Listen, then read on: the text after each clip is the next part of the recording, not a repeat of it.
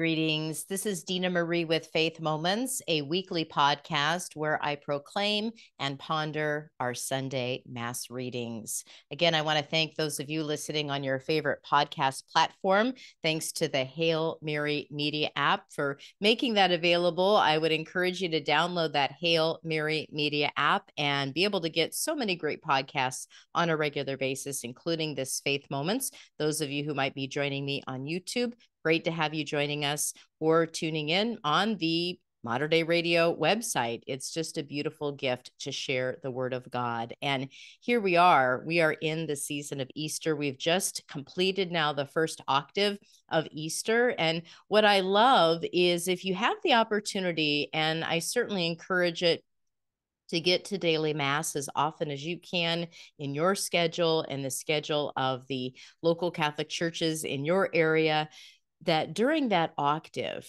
one is you'll notice every day in those first eight days of Easter, we sing or say the Gloria. It is the extension of the Easter Sunday for an octave. We continue that joyfulness, we continue that liturgy in a special way through the prayers for those first eight days of Easter. And so to hear that Gloria sung or prayed every morning at daily mass through that first week of Easter is, is just, it's a reminder because we haven't said the Gloria for the whole time of Lent.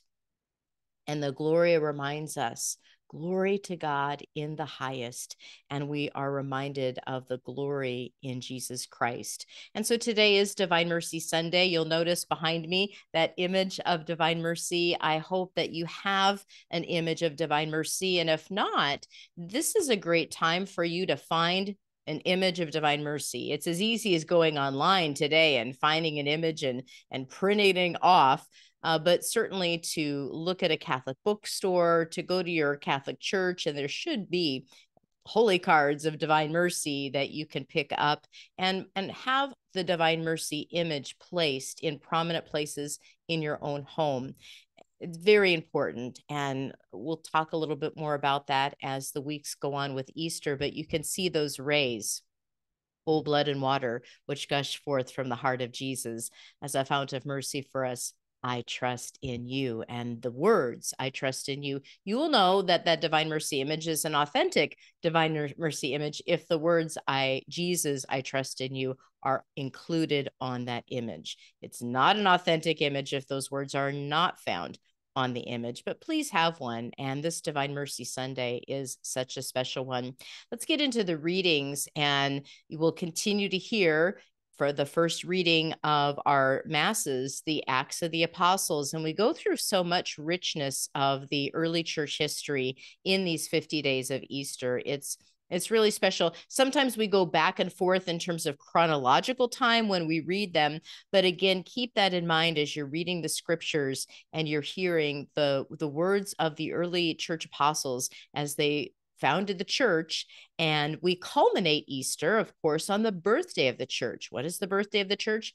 Pentecost, the 50 days. At that 50th day, at the descent of the Holy Spirit, is the birth of the church. And Mary, Mother of God, is the mother of the church. So, so much beautiful history and richness. And it all comes from the Word of God. And so let's begin this second Sunday of Easter, Divine Mercy Sunday, April 16th, with a reading from the Acts of the Apostles.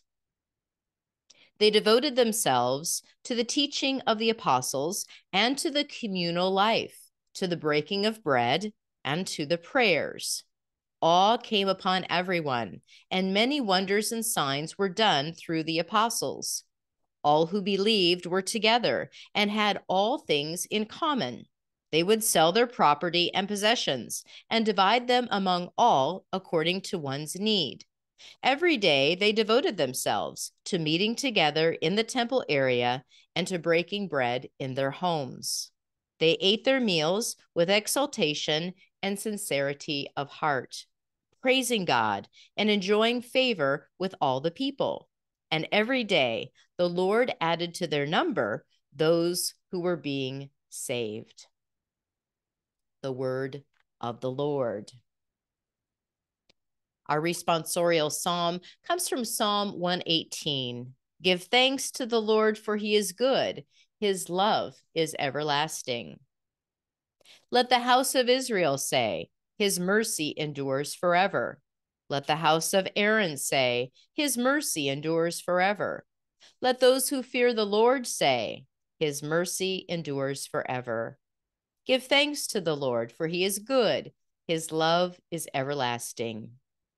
I was hard pressed and was falling, but the Lord helped me. My strength and my courage is the Lord, and he has been my Savior. The joyful shout of victory in the tents of the just. Give thanks to the Lord, for he is good, his love is everlasting. The stone which the builders rejected has become the cornerstone. By the Lord has this been done. It is wonderful in our eyes. This is the day the Lord has made. Let us be glad and rejoice in it. Give thanks to the Lord, for he is good. His love is everlasting. Our second reading comes from the first letter of St. Peter, chapter 1.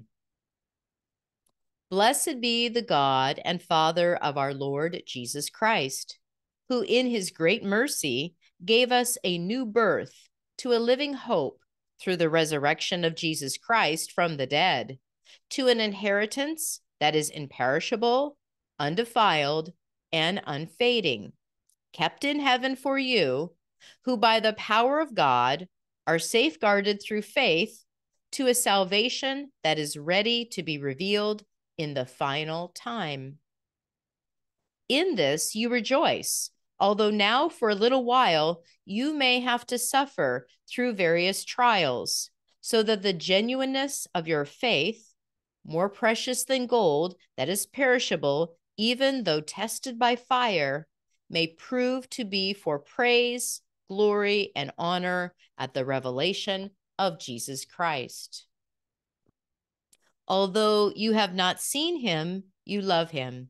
Even though you do not see him now, yet believe in him, you rejoice with an indescribable and glorious joy as you attain the goal of your faith, the salvation of your souls.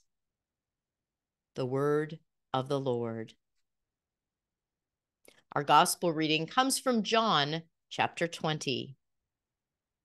On the evening of that first day of the week, when the doors were locked where the disciples were for fear of the Jews, Jesus came and stood in their midst and said to them, Peace be with you.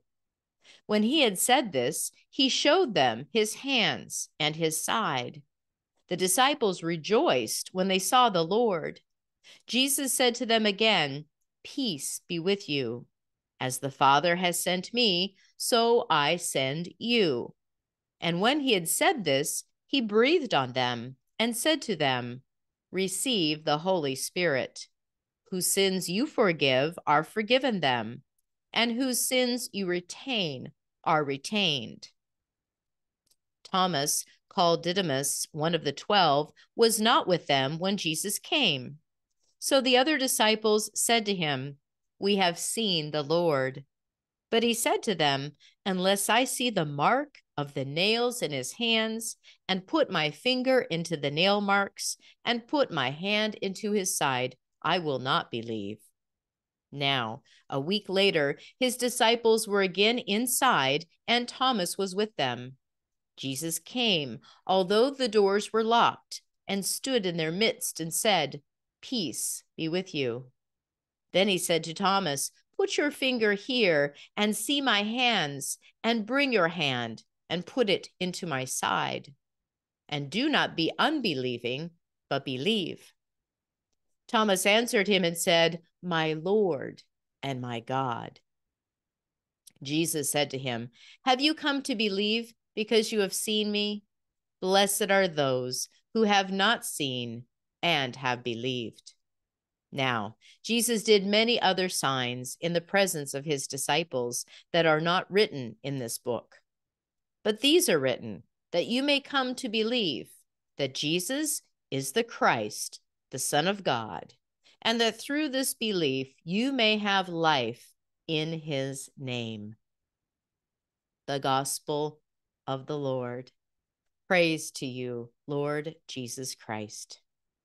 Those are the readings for Divine Mercy Sunday. And I'll go back a little bit to the readings and then i want to share a couple of reflections that are in in conversation with god some really beautiful insights that i think that commentary brings what i love in the acts of the apostles is we hear the beginning of the church and if this was not true, if Jesus hadn't risen from the dead, uh, we wouldn't have a church today. But we have the Catholic Church, the church that Jesus founded over 2,000 years ago in fulfillment of the scriptures, as the prophets had prophesied. And we have our faith today, regardless of all of the darkness, all of the wars, all of the persecutions against Christians, against morality, against the light. Jesus is on the throne today with those sacred, holy wounds. And so we do not need to worry and get all upset at the things that are going on that are so dark and dreary in our world. Yes, there are terrible things that go on, but let us not forget Jesus rose from the dead. No other person in any other faith has claimed that has claimed to be God, has claimed to follow up on that claim with the truth and the resurrection. And so we must have a confidence and a joy in how we live and how we interact in the world around us. And look at the early Christians. What they did is what we might call today home groups or small church groups or small communities. We have small faith groups that may start in our parish communities where certain families may come together on a regular basis. They break bread together, they eat a meal together, they pray together. They, you know, when it says here that they share resources together, I think about all of the folks that I know who are homeschool families, just as an example. And you may share babysitting. You've got kids that are about the same ages. So maybe a couple of moms need to go get some work done here or there. And so the rest of the kids are being taken care of by a few other moms. And we share in the load of the work of caring for our families in order to help one another. It's just a an a common way and a very practical way of how we can share in community life today. But we hear that at the very beginning of the forming of the apostles, they're breaking bread. This is the Eucharist. This is daily Mass. They are coming together for the liturgy, for worship, so that it was very important at the very beginning of the church founding to come together for daily mass. You know, and this is why the Catholic Church, we have daily mass offered in every Catholic church around the globe. They come together for prayers. This is what knits, this is what sews the community together is a community life bonded by prayer, bonded by the Eucharist, bonded on what our faith is in the risen Lord Jesus Christ. And so they come together and they celebrate what is common among them. And they meet in their homes. And I think about how today in our world, 2000 plus years later, how we are so isolated while we have the technology to be connected with all of our family and loved ones around the globe with whatever device you want to use, FaceTime, we have this technology, yet are we actually connecting personally, one on one with each other in community, sharing our hearts? The technology has really distracted us in many ways. And they come together praising God. They come together with a sincerity of heart, it says. And what happens? The Lord blesses that. It says at the very end, the Lord added the Lord added numbers to those who are being saved. And so it's not that I'm going to add the numbers. Boy, if we do these things, we're going to add the numbers. No, if we follow the way of Jesus, the truth, the way, and the life, people will be attracted to it. People will be attracted by how we live our lives. It's different. It was different in the days of, of the early Jews becoming Christians and those Gentiles joining them, and, and they started to grow. They started to grow. And they shared, they prayed, they worshiped. And the challenge can be for us today do you find and develop and grow worship communities within your worship communities? Yes, we come together for Mass, and that is the most important thing. But within that community, do we take that and we continue to work in? We've got a praise and worship group. Do you have a prayer group? Do you have a home group? And you come together on a regular basis, breaking bread, maybe having a meal together, maybe breaking the word open, having a Bible study. These are things that keep us growing together in the name of Jesus. As the responsorial psalm says, his mercy endures forever. This is the theme for Divine Mercy Sunday. This abundant love and mercy is for those who don't deserve it. Remember that. Remember that mercy, we only give mercy. Mercy is only given if we just if we don't really deserve it we don't really deserve god's mercy but he gives it to us and so are we willing to receive the mercy that god gives us peter at least the letter from St. Peter, beautiful, beautiful words from St. Peter. I almost feel like I'm reading a letter of St. Paul because of the lengthy sentence structure. Uh, but again, in this you rejoice, although now for a little while you may have to suffer through various trials. This is not this is not a surprise to the early Christians that there would be trials, but that our faith it's our faith. You can't take our faith away. You can throw us in a prison, you can persecute us and turn us into slaves. Think of all the saints that we recognize who are captured and taken to a foreign land and forced into slavery. You can take all of that. You can't take my faith and my belief in Jesus Christ, my risen Lord. And to honor the revelation of Jesus. Although you do not see him now, see, we don't see him in the, in the physical body today, Jesus. We see him in his people we see him in the community of Christ. But we believe in Jesus because of his word, because of the witnesses who shared, who were there at the tomb, at the crucifixion, at the resurrection, at the fire when he ate fish and bread with the disciples. You rejoice. Listen to this. You rejoice with an indescribable and glorious joy. Do you live that way? Do I live that way? As you attain the goal of your faith, what is the goal of our faith? Salvation. That's our goal salvation. In all the things that we're worried about today, I've got on my calendar a list of things to do with little boxes to check off. I like to check off boxes. But really, I'd have to ask myself, did you write salvation on the top of that list? I didn't. But that is my goal. And I hope that is your goal as well beautiful gospel reading of the account of Jesus. What is he saying? Peace. He realizes that these apostles are still fearful. They're still not understanding the full story. And he comes and he gives them actually the power of forgiveness in the confessional, as we talk about in the Catholic Church, the sacrament.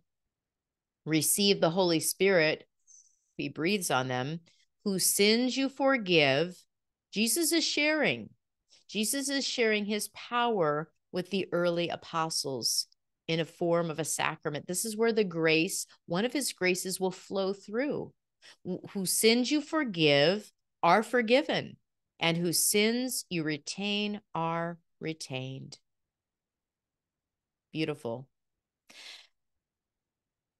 the story of Thomas and you know, he probably felt can you imagine if if for some reason maybe he was going out to go get food for the disciples or he was running an errand and Thomas is the one who went out and he didn't get to have that encounter. And I bet at the bottom of his heart he just thought, I really want to see the Lord. Those other guys did. I, I really want to see the Lord. And he says, I will not believe. But then Jesus, in his mercy, right? He he doesn't say, "Well, I'm just going to let Thomas sit in his in his pouting." Jesus comes in great mercy and love and says, "Thomas, now you come touch the wounds. Come touch these wounds." And Thomas didn't even need to touch them. He saw the Lord. He saw the Lord. And what did he say? My Lord and my God. Not only did he recognize Jesus, he recognized my my God. This is the Son of God. And he believed. Do we recognize Jesus? How do you recognize Jesus? Do you recognize him knocking at your door? Have you left your door unlocked so that Jesus can come in? You know, if we lock the door of our hearts, if we put up walls, we we put up a barrier to Jesus. Not that he can't get through, but he wants you to invite him into your lives. He wants to be invited. He needs that invitation because he is such the great God who offers us that free will. I want to go back to the early Christians and that example that we get from the apostles and this beautiful reflection. Actually, it's a reflection on Easter Monday, but it talks about giving peace and joy. And this is a time of joy in the church. Now, we shouldn't ever stop. Oh, okay, Easter's over, no more joy. It should always be joyful. But I think this is a great point that comes up in this particular reading it says, To be happy is a form of giving thanks to God for the innumerable gifts he gives us. Are you a happy person? Are you grateful? Are you joyful? Where does your happiness come from? Joy is the first tribute we owe him. We owe God joy. The simplest, most sincere way of showing that we are aware of the gifts of nature and grace he showers upon us and which we thank Him for. God the Father is pleased with us when He sees us happy and joyful with true gladness. You know, maybe just as we do these self examines, think about am I a joyful person? Do I have, or am I always so kind of thinking about the next thing and worrying about the next thing that I don't show true, authentic joy? Evaluate how you are with other people, with yourself? Are you a joyful person? How do you show that joy? And do you believe your joy comes from the Lord? Everything that we have comes from the Lord. Let us give thanks and rejoice.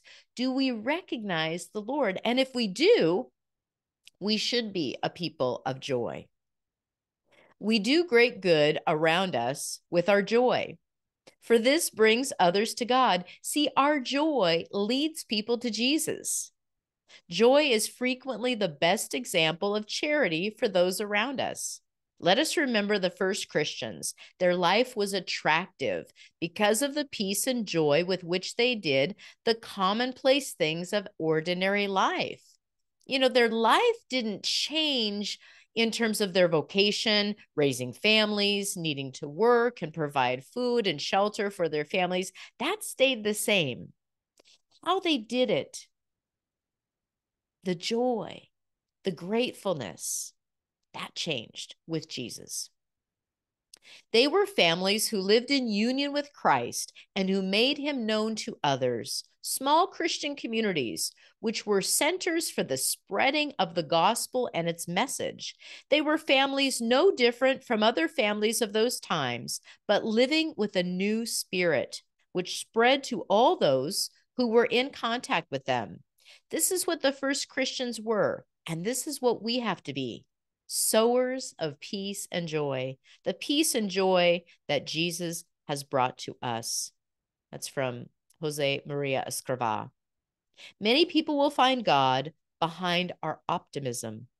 In the customary smile, in the cordial attitude, this example of charity to others, of forcing ourselves to flee from gloomy moods and sadness at all times and to remove their cause, is particularly communicated to those closest to us. Certainly, think about the domestic church, our own homes. Are you walking around gloomy and complaining and and and worrisome or are you joyful? Are you grateful? Are you looking forward to? Lord, how are you going to bless this day? To be more precise, God wants the home where we live to be a bright and cheerful home, never a dark and unhappy place, full of tension and a lack of mutual comprehension. A Christian household must be happy because supernatural life leads us to practicing those virtues to which joy is so intimately united. A Christian home makes Christ known in an attractive way among families and throughout society. That's what I want to close with as we enter into this Divine Mercy Sunday and we continue in the season of Easter. I have to ask myself Am I a joyful person? Am I projecting that joy in my own home? And as I walk out the door, as I go to the backyard, pick the weeds, get ready for the garden, do I live a life of joy? And do I trust and believe that that joy comes from Jesus Christ? Jesus, I trust in you. Have a blessed Easter Easter Easter season and have a blessed Divine Mercy Sunday.